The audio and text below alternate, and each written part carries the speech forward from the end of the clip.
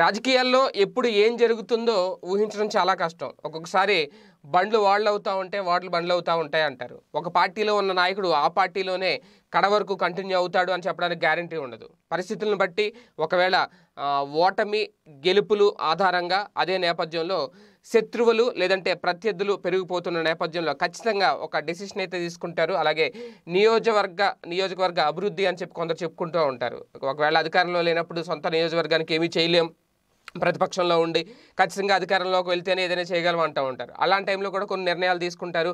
Party మారే ఎందుకు ఒక కసరత్తు ఒక ప్రత్యేక ప్రణాళిక సిద్ధం చేసుకుంటూ ఉంటారు. ఇప్పుడు తాజాగా నంద్యాల కర్నూలు జిల్లా నంద్యాల రాజకీయం ఇప్పుడు మళ్ళీ ఒకసారి తెర మీదకి వచ్చింది. ప్రస్తుతం అక్కడ ఉన్న భూమా బ్రహ్మానంద రెడ్డి గారు పార్టీ మారబోతున్నారని ప్రచారం జరుగుతుంది. దీనికి కారణాలు కూడా లేకపోలేదు. ప్రస్తుతం ఆయన తెలుగుదేశం పార్టీలో ఉన్న నేపథ్యంలో వైసీపీలోకి రాబోతున్నారు అనేది ఒక ప్రచారం. నిజంగా ఆయన జంప్ అవుతారా లేదా అనే దాని మీద క్లారిటీ లేదు కానీ ఎందుకు జంప్ అయ్యే అవకాశాలు ఉన్నాయనే దాని మీద మాత్రం రకరకాల కారణాలు చాలా స్పష్టంగా కనిపిస్తున్నాయి. ఎందుకంటే భూమా అఖిల ప్రియ వైసీపీలో ఎమ్మెల్యేగా గెలిచిన టైంలో అప్పుడు చంద్రబాబు గారి ఆపరేషన్ ఆకర్షలో టీడీపీలో చేరిపోయి ఏకంగా మంత్రి అయిపోయారు. అందరికీ తెలిసిన విషయం ఒక రకంగా ఆమె వైసీపీని మోసం చేశారు అనే ఆరోపణ కూడా ఎదుర్కొన్నారు అప్పట్లో. ఇప్పుడు ప్రతిపక్షంలో కేసులతో ఉక్కిరిబిక్కిరి అవుతున్నారు ప్రస్తుతం ఉన్న పరిస్థితుల్లో. అలాగే ఆమెతో పాటు రెండు వేల పదిహేడులో ఉప ఎన్నికల్లో విజయం సాధించిన భూమా అఖిలప్రియ కజిన్ బ్రదర్ ఎవరైతే ఉన్నారో మాజీ ఎమ్మెల్యే భూమా బ్రహ్మానంద రెడ్డి ఇప్పుడు అఖిలప్రియని వదిలేసి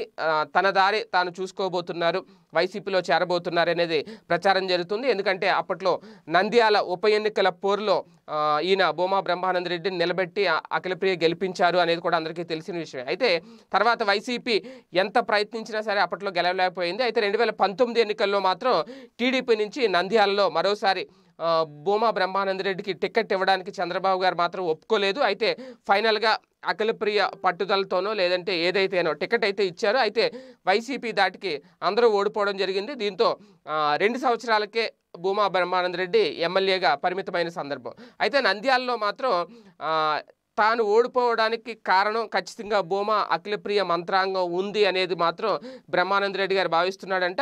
అయితే రెండు వేల ఇరవై నాలుగు ఎన్నికల్లో తన సోదరుడు జగద్విఖ్యాత్ రెడ్డికి టిక్కెట్ ఇవ్వాలి ఆయన్ని రంగంలోకి దింపాలి అని చెప్పి ఇప్పుడు ఆమె భావిస్తోంది అనేది కూడా. అంటే ఈ క్రమంలోనే ఆ, బ్రహ్మానంద రెడ్డిని తప్పించే ప్రయత్నం చేస్తున్నారు అనేది ఇప్పుడు లోకల్గా అక్కడ జరుగుతున్న ఒక రాజకీయం అక్కడ జరుగుతున్న ఒక ప్రచారం.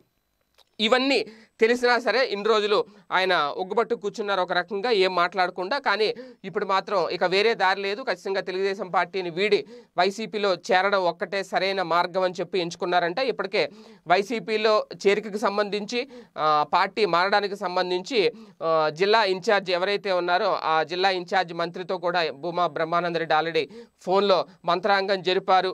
ఒకవేళ త్వరలోనే ఆయన అన్నిటికీ ఓకే అంటే జగన్మోహన్ రెడ్డి గారి సమక్షంలో పార్టీ మారేందుకు కూడా సిద్ధంగా ఉన్నారు అనేది ఒక ప్రచారం జరుగుతోంది. ఒకవేళ నిజంగా అఖిలప్రియ ఈమెను తొక్కేయడం రాజకీయంగా ఎదగకుండా తొక్కేయడం వాస్తవమేనా అనేది కూడా ఇక్కడ ఆలోచించాల్సిన విషయం. మరి ఇప్పుడు హఠాత్తుగా ఎందుకు ఈయన పార్టీ మారాలనుకుంటున్నారు? ఒకవేళ వైసీపీలో చేరితే అన్న ఉపయోగం ఉంటుందా? మళ్ళీ ఆ స్థానం ఈయన దక్కించుకోగలరా? రేపు రెండు వేల ఇరవై నాలుగు ఎన్నికల్లో అక్కడ సీట్ ఈయనకి దక్కుతుందా? ఏంటి అనేది కూడా ప్రశ్నార్థకమే. మొత్తానికి ఇప్పుడు భూమా జంప్ అవబోతున్నారు టీడీపీ నుంచి వైసీపీకి అనేది ప్రచారం అయితే జోరుగా సాగుతోంది.